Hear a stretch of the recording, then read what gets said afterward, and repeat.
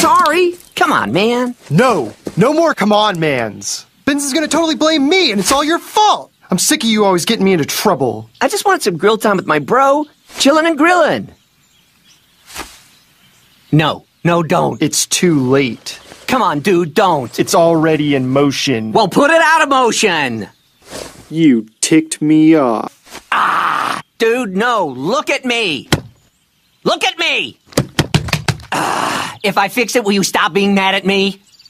Maybe. Fine, I'll fix it. I'll just go get some more hot dogs from the meat locker down in the basement. Benson will never know, okay? Fine. You better fix it though.